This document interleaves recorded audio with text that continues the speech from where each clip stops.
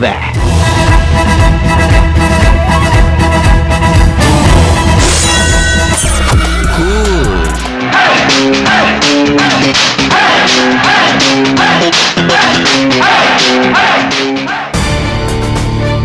Super star Rajini பிறந்த குழந்தை முதல் பெரியவர்கள் வரை இவருடைய காந்த கண்களுக்கு மயங்காதவர்கள் யாரும் இல்லை இவர் படங்கள் வெளியாகும் நாள் உலகத்திற்கே திருவிழா. திரைப்பட துறையில் மாபெரும் சூப்பர் ஸ்டாராக சாதனை படைத்த இவரின் வாழ்க்கை ஒரு சாமானியனின் சரித்திர பயணம்.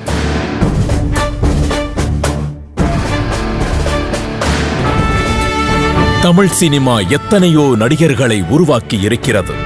ஆனால் நமது சூப்பர் ஸ்டார் ஆயிரத்தில் அல்ல லட்சத்தில் அல்ல கோடியில் ஒருவர். ஆண்டவா எல்லாரும் எப்போ மன நிம்மதியுடன் எந்த இல்லாம சந்தோஷமா தன்னம்பிக்கையும் கடின உழைப்பும் இருந்தால் கடவுள் அருள் தானே தேடி வரும். நம் ஸ்டைல் கண்டக்டருக்கு கே. பாலச்சந்தர் வடிவில் வந்தது. முதல் படம் அபூர்வ ராகங்கள். வித்தியாசமான தன் ஸ்டைலால் படத்திற்கு படம் ரசிகர்களை சுண்டி இழுத்தார்.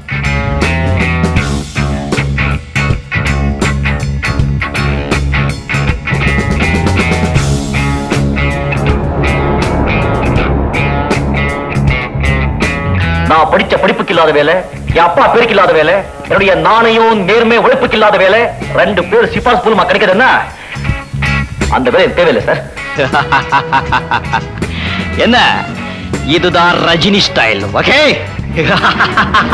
பதினாறு வயதினிலே பைரவி முள்ளும் மலரும் ஜானி என அர்த்தமுள்ள படங்களும் அழுத்தமான கதாபாத்திரங்களும் அமைந்தது. சார் ரெண்டு கையும் ரெண்டு காலும் போனா கூட காளியங்கிறவன் பொழிச்சுக்குவான் சார் கெட்ட பைய சார் அவன். நம்மை போல நெஞ்சம் கொண்ட அண்ணன் தம்பி யாரும் இல்லை. தன்னை போல என்னை எண்ணும் நீயும் நானும் ஓர் தாய்.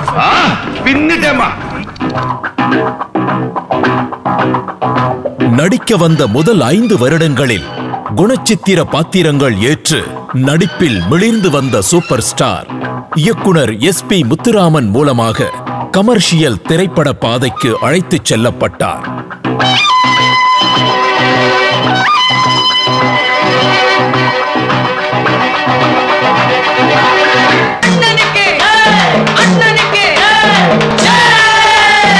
சூப்பர் ஸ்டார் யாருன்னு கேட்டா சின்ன குழந்தையும் சொல்லும் கண்ணே எனது பேரு ஒரு தரம் சொன்னா நின்று எழுந்திடும் புல்லு.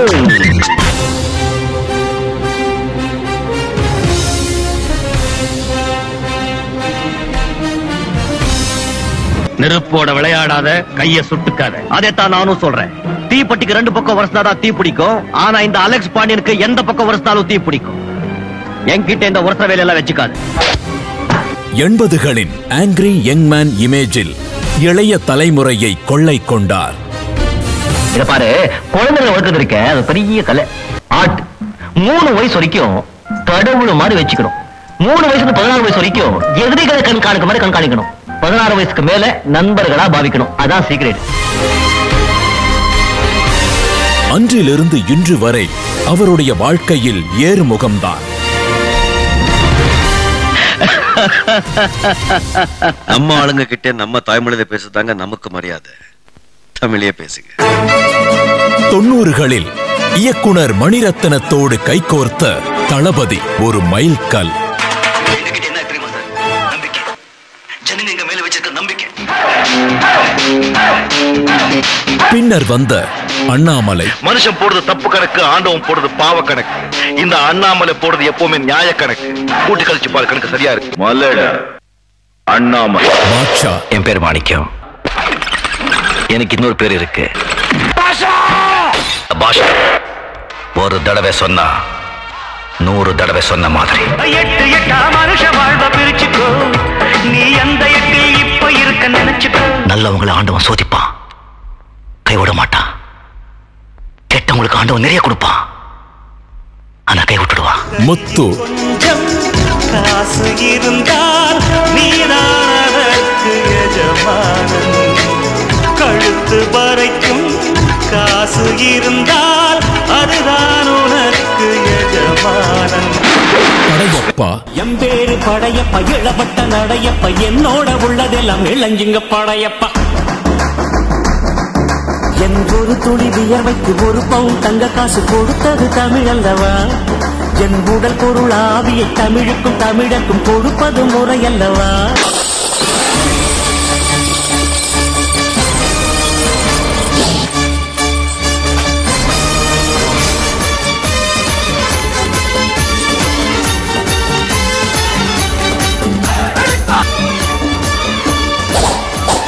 சந்திரமுகி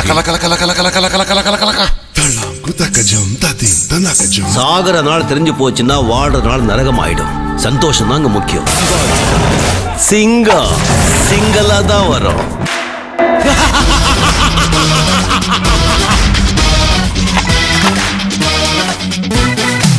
பேரை கேட்ட உடனே சும்மா அதறது இல்ல எந்திரன்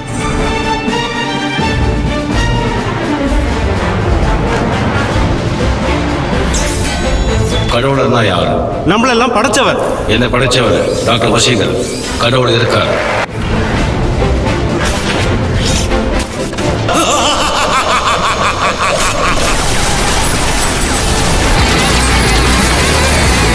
கபாலி வரை குனிஞ்சி சொல்லுங்க எஜுமா அப்படி வந்து நிப்பானே அந்த மாதிரி கபாலியா நினைச்சியாடா கபாலிடா பயமா काला कैसा नाम है रे ಯಾರೇ செட்டிங்க. வேங்கியமாவா ஒத்தேல நிக்க. தில்ல இருந்தா மொத்தமா வாங்கல.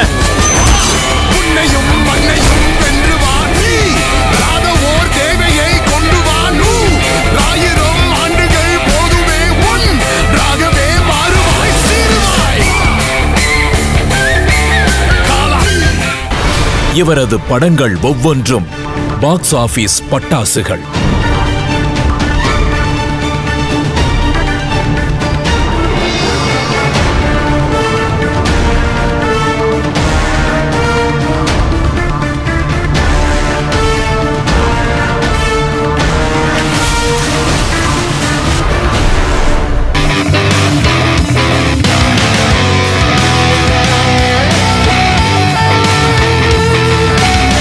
இந்தியா மட்டுமல்லாது உலகம் முழுக்க அறியப்பட்ட ஒரு மனிதராக இருப்பினும் எளிமையாக அடக்கமாக ஆன்மீகவாதியாக ஒரு நல்ல மனிதராக வாழ்ந்து வருவது அவரது புகழுக்கு மேலும் பெருமை சேர்க்கும் அவரது குணங்கள்.